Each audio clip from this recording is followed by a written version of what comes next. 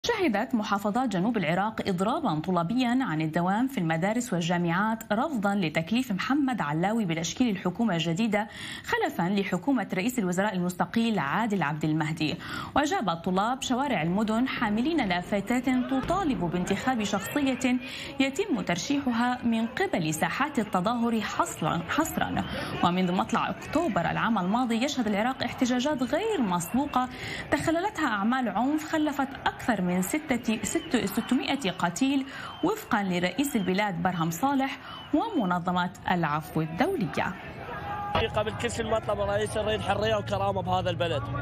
ونريد يعني حقوقنا من من من خيرات هذا البلد. قبل لا نطالب بتعليم وقبل لا نطالب بأبسط الحقوق اللي نستحقها. أهدافنا واضحة انتخابات مبكرة رئيس وزراء غير جدلي. هذه الطلبة اليوم إذا كانت هذه المسيرة اليوم فيها ألف طالب في المسيرات المقبلة ستشهد آلاف الطلبة.